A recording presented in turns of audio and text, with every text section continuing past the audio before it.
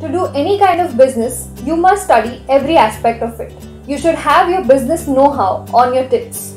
Welcome to Be Your Own Boss by Shop 101, a series that teaches you quick hacks on becoming an entrepreneur while working on your job or college.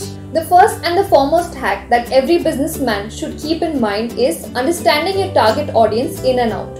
Where are your customers from? What is their culture like? What kind of products do they purchase? and what kind of friends are they following.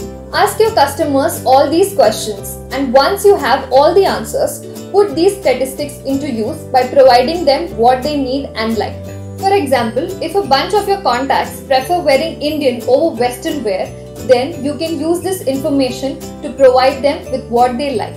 You can also look for trends being followed by a majority of people through Google Trends taking polls, preparing questionnaires, etc. to increase your earning potential.